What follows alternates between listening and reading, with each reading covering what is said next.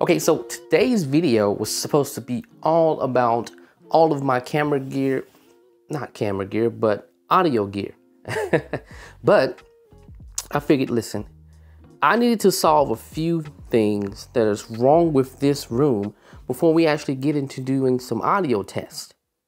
But hey, check this out. I've actually started already. So I actually already started making my own acoustic foam here. Well, I didn't make it, but we've I purchased it. Now this is project foam from a place called Joann's. It's a it's like a craft store. You can go to any craft store and get foam. Now I picked this particular foam simply just because it's fire resistant. I know like there's so many foams out there that you can buy that are fairly cheap, but this was not super expensive, but it was like 20, 30 bucks a piece. And I have four of them. And the good thing about them, they're fire resistant. They're three inches thick. And I think they've been doing the job pretty well. But the thing is, we have to do more. Okay, so that's one. That's two. That's three. And that's four. Okay, so this fourth one that was on the ground will go right here. Let's see if I can put this up right here. Yeah, there we go it will go there. I will actually make sure it doesn't fall. But you get the point. Fourth one will go there, but that leaves still quite a bit of space that I need to address when it comes to uh, knitting acoustic foam.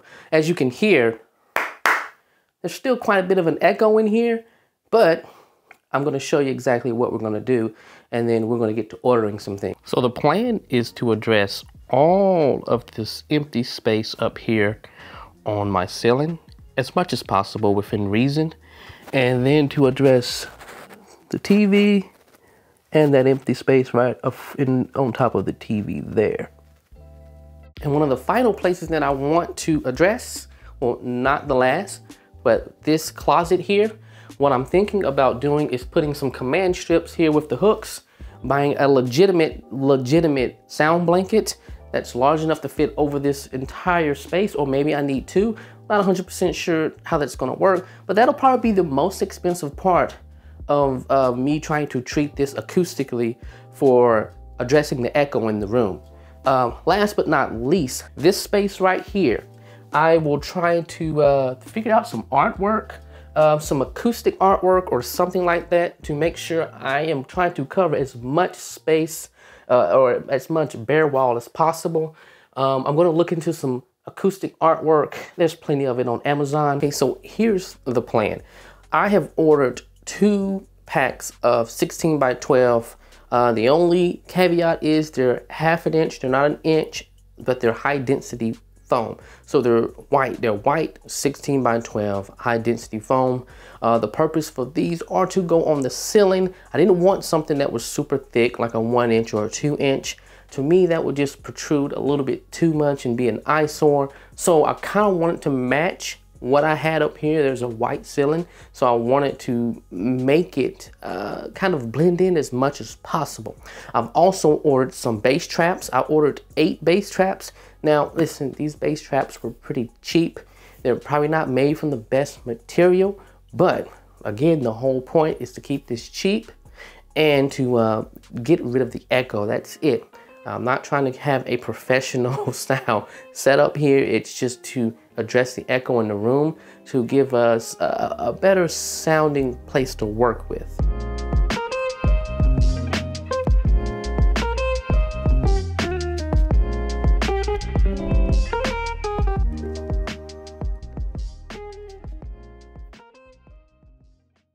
Okay, so right now you are listening to me on the Sennheiser 416. Um, we're going directly into the FX3. So just so you can see FX3 going directly, uh, and the Sennheiser is going directly into the FX3.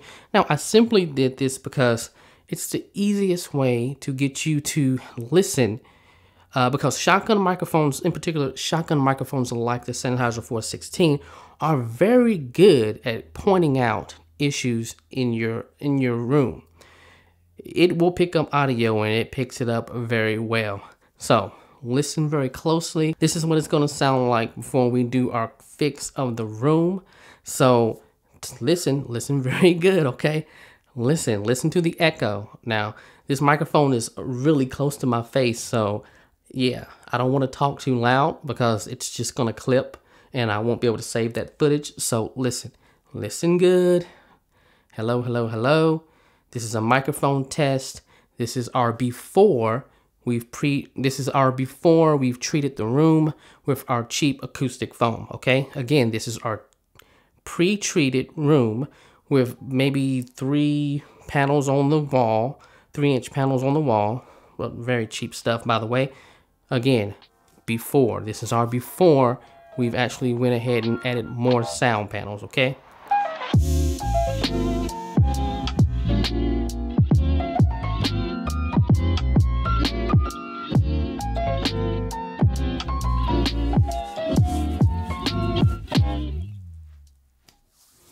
Okay, so now we have addressed uh, some of the space in this room. We've put some sound panels on the roof or the ceiling, and we've added a few more sound panels on the wall right in front of me. Hopefully you can hear a difference. I don't know. now, okay, just for reference, we are still using the 416. Let me get back into the microphone. We're using the 416 and it's still going into the FX3. Nothing has changed. Um, the only thing that has changed is sound panels on the top of the ceiling here. And then we have sound panels right in front of me. Uh, three new sound panels right above the TV. And then we have our bass traps, which probably aren't doing much of anything, to be honest, uh, right in the two corners there. Um, again, this is a cheap setup.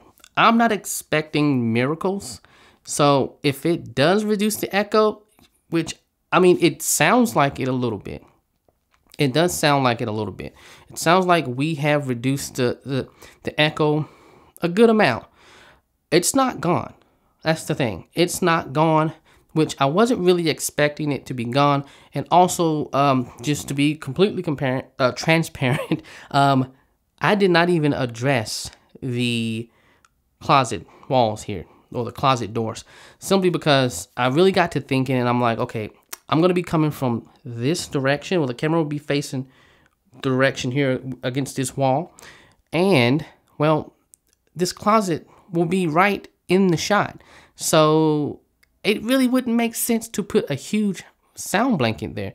Like I might be able to get away with putting a sound blanket in front of the or behind the camera, but not in front of the camera. Like to me that would just look a little tacky and weird that there's a huge blanket. It's a little, you know, it's not professional. Could use other words, but you know. Anyways, we'll keep it PG around here. Um, but yeah, okay, let's go back and forth. Hello, hello, hello. This is a microphone test. This is our before we've pre. This is our before we've treated the room with our cheap acoustic foam. In our audio, this is a sound test. Testing one, two, three. Testing one, two, three. Hopefully we have greatly reduced the echo in the room. Hello, hello, hello. This is a microphone test. This is our before we've pre, this is our before we've treated the room. This is a sound test. Testing one, two, three.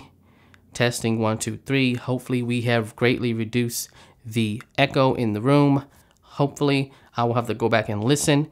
Um, but again, to my ears now, there is a noticeable difference.